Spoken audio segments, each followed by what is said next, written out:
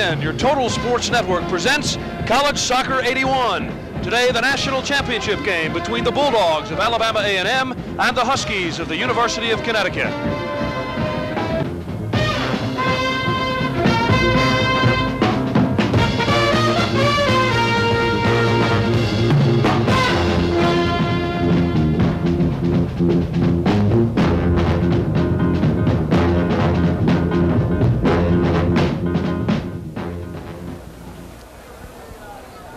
You are looking live at Palo Alto, California's Stanford Stadium, where this afternoon the National Collegiate Soccer Championship game will be contested between the University of Alabama A&M and the University of Connecticut.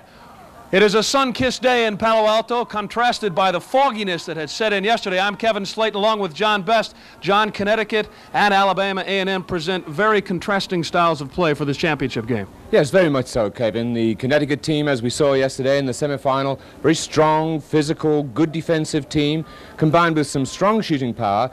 And of course, then you look at the Alabama A&M team, very fast, skillful forwards. It's quite a matchup. You are looking live at Stanford Stadium, Palo Alto, California. Kevin Slayton, along with John Best. Halftime of the National Collegiate Soccer Championship. Alabama A&M leads it one to nothing. We're underway in the second half. Connecticut in white, trimmed in blue, and Alabama A&M in the maroon, trimmed in white. This is Ben Okocha for A&M, sending it for Solomon Schifferau. He's got the game's only goal, scoring in the first half on a breakaway.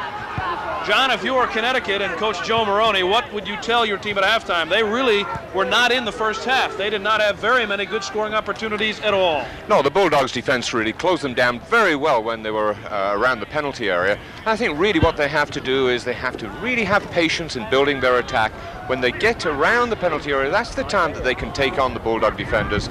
Not in the in the midfield area. They shouldn't be running with the ball. They should play, pass it around more openly than they have done. They have been very sloppy at midfield. This is Cornolo now for Connecticut, crossing nicely for Morrone. Morrone has tied the game! Connecticut immediately ties it. They did just what you said. Well, obviously, they're, they're delighted with that, and what a good goal. What a good way to start the second half. Nice piece of interpassing through to Morrone, puts it away very well indeed. The play was certainly set up down in the corner. Cornolo did the job offensively. Here we see him playing the ball forward. The, Al the Alabama defenders coming out. is going to knock the ball in here. Morrone running forward from midfield very well indeed. Two touches, puts it into the back of the net. Very well taken goal.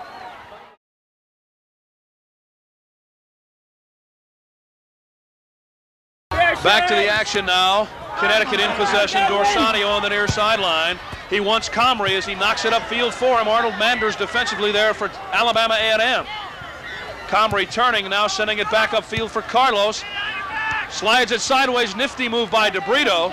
He maintains possession. He'll shoot it from there. You got to watch him. Chipped upfield by Lyman for Dorsanio. This game is over!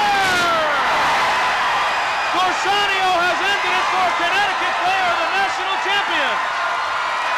A sensational pass from DeBrito outside to Lyman who chipped it forward. As you can see the mad rush from the Connecticut players. Head coach Joe Marino is in that pile somewhere. Dorsanio scoring for just the sixth time this season, and he beat Kevin Hunt to the far post. What a very well taken goal, Kevin. A very good header, which came free from an absolutely excellent cross. The, the Connecticut team built up again very quickly, quick passes. They, were able to get in an accurate cross, and there was Dorsanio. There are the Huskies, very happy down on the field. We're going to take another look at the winner. The pass came from Jim Lyman as he found Dorsanio using his six foot two inch frame, 195 pounder. There we see Carlos has played the ball out there to DeBrito. Good little piece of individual skill. DeBrito works some space for himself, turns on the ball. You see Lyman fading off to his right hand side, pushes the ball wide to him. Now Lyman has plenty of time, looks up, beautiful little cross. And who's there? Dorsanio splits the defenders, finds the bottom corner. Great effort by Hunt, but an excellently taken goal. Hunt nearly had it, and I venture to say no other mortal man would have even come that close to getting it. There's there a proud man. He's very happy. It'll be a happy trip back across the country to Connecticut. Our Vitalis most valuable player, Well, we've picked a defender for Connecticut, Eric Myron. He did a splendid job on defense all day long. He didn't score a goal, didn't assist on a goal. You might not read about him in the box score, but he is our MVP, and you can see him there, number 10, hugging his coach, Joe Marino.